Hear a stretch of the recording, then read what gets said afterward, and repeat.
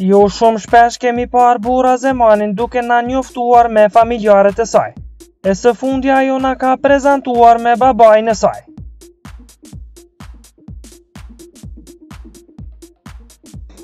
Për të qenë në hap me showbizin vendor, bëni subscribe kanalin Biz.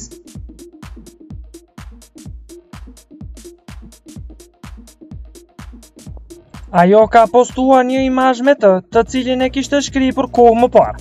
Moderatorja e ka quajtur mbret, derisa e ka kujtuar ditën kur i bëri një surprizë të veçantë atij.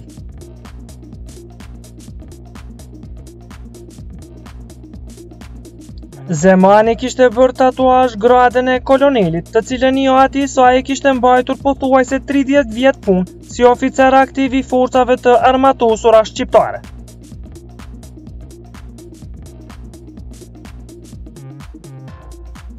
Moderatorja tutje ishte shprehur se kjo befasi u prit mirë nga ai dhe se e kishte shijuar pafund.